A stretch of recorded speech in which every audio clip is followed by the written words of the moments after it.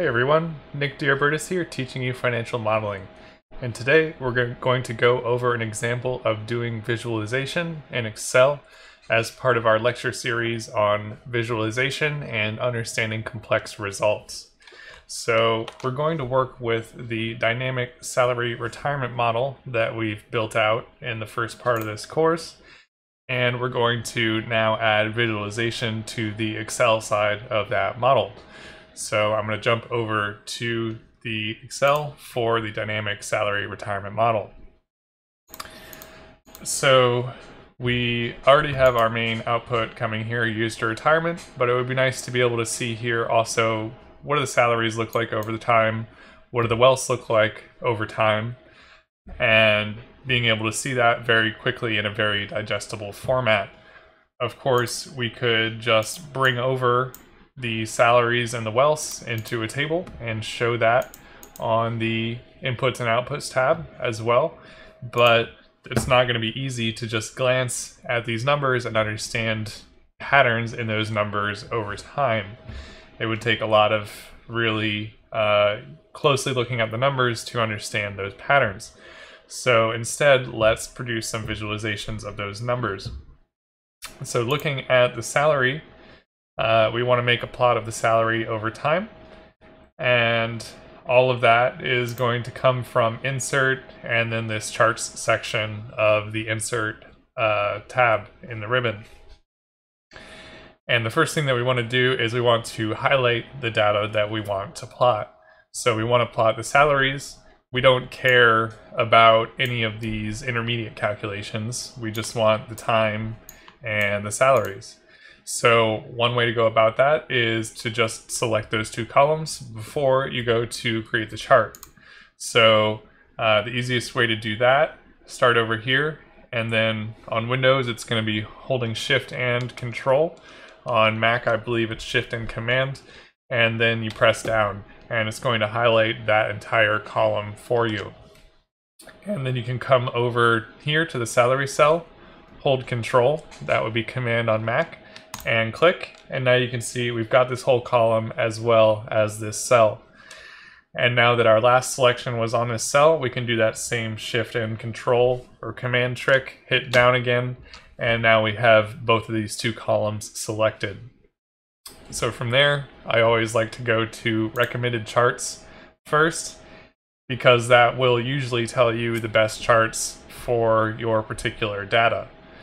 Um, and you can look through uh, the recommended charts for what you think is appropriate for your data.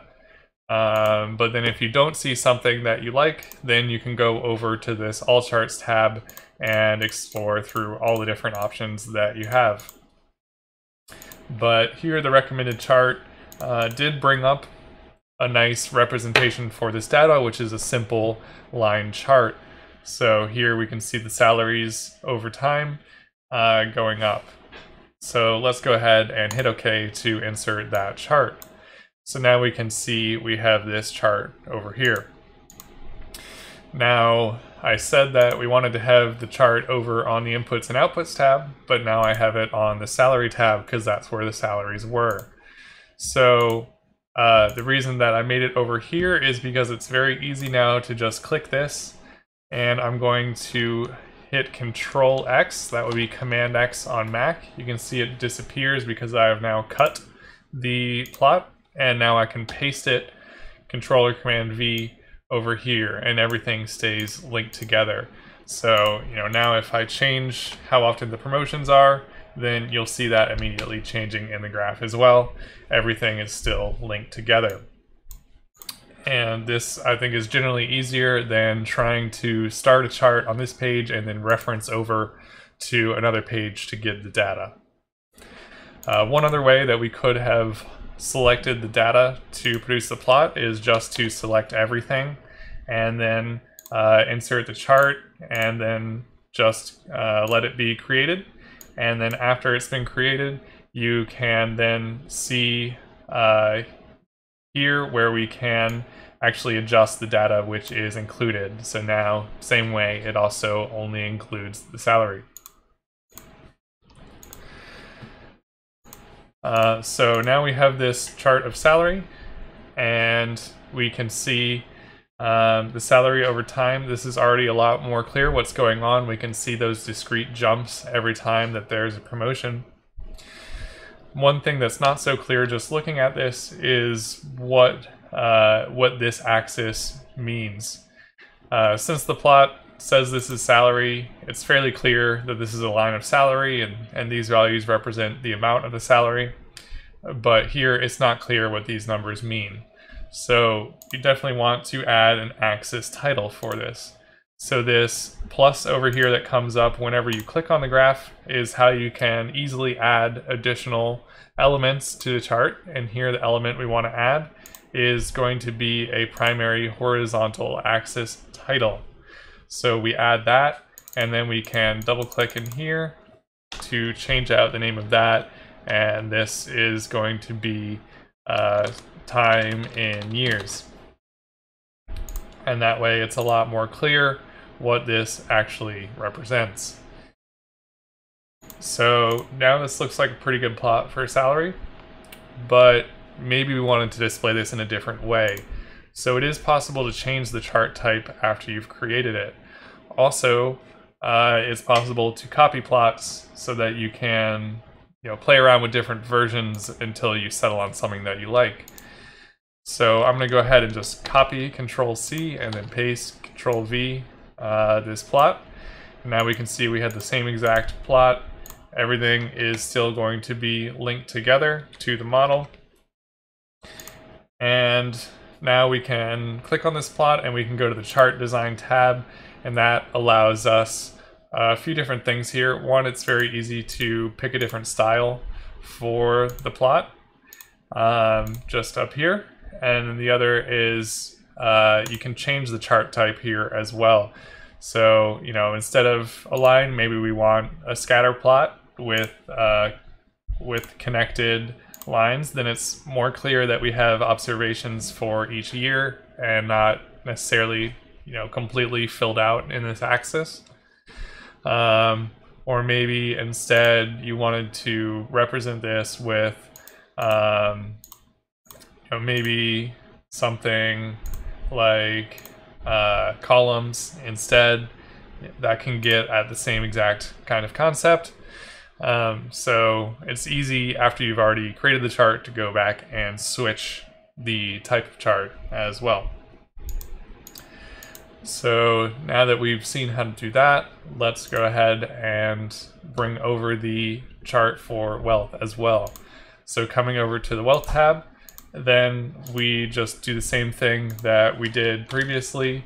We're just going to uh, grab these two uh, columns here, the time column and the wealth column. Once again to insert recommended charts here. And let's go with the line chart here. Uh, and we can see also the wealth over time. I'm going to add that title for the horizontal axis that this is time in years and then going to cut this so we can bring it over to the inputs and outputs tab. So now we have both the salary and wealth, and of course you can uh, you know drag these to change the size uh, so that everything will fit on the screen appropriately. And now we can see everything will change together. So it's a much easier way to get a quick overview of what's going on in the model. And one other way we could have gone about this is right now we have separate graphs for the salary and the wealth. We could have potentially combined them into the same plot because they have the same axes, right? They're both over time. They're both talking about a dollar amount in the y-axis, so it could make sense to have them on the same plot. Now, the reason that I didn't do that is because the scale of these axes is quite different. For, for the x, it's the same, but for the y, you can see the wealth axis here is actually 10 times as large as the salary axis. So if we plot these two on the same plot, then we're barely going to be able to see the salary line. So we can just quickly see uh, the example of that. If I just grab the salary and the wealth uh, here to put onto one chart that um, we create that chart and it basically looks like the salary doesn't really do anything. It increases, but it looks almost like it's totally linear. You can barely tell that the promotions are going on in there, whereas the wealth just totally eclipses that by the end. So um, doesn't really make sense to put these two on the same plot when it's so much more clear what's going on when they're on separate plots because of the different scale of the axes. So that's an overview of how to do visualization in Excel. Next time we're going to come back and learn about pandas and Python, which is going to give us a table kind of data structure, and we're going to start working towards visualization in Python. So thanks for listening, and see you next time.